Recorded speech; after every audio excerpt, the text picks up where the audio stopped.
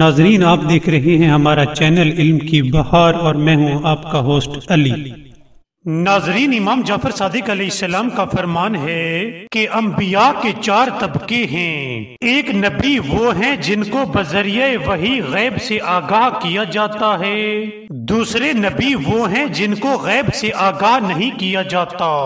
यानी उस पर फरिश्ते नहीं आते। तीसरे नबी वो हैं जो ख्वाब में फरिश्तों को देखते हैं। उनकी आवाज़ सुनते हैं और जागते हुए नहीं देख सकते। उनको किसी की तरफ़ मबूस नहीं किया गया। उसका एक इमाम होता है, जैसे इब्राहिम सलाम हज़रत लूत पर इमाम थे। और चौथे नबी वो हैं जो ख्वाब की हालत में फरिश्ते को देखते हैं और बेदारी की हालत में भी फरिश्तों को देखते हैं। ऐसे अंबिया इमाम होते हैं।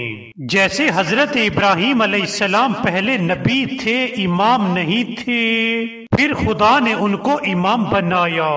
आपने मजीद फरमाया कि अम्बिया में से पाँच सरदार नबी हैं और वही ओलुल अज़म रसूल हैं। उनमें हज़रत नू सलाम हज़रत इब्राहिम सलाम हज़रत मूसा सलाम हज़रत ईसा सलाम और हज़रत मोहम्मद सल्लल्लाहु अलैहि वसल्लम।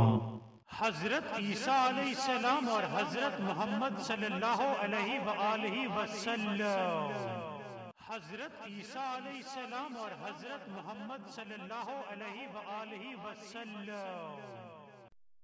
नाजरीन, अगर आपको हमारी वीडियो पसंद आई हो तो सब्सक्राइब करना मत भूलिएगा। Thank you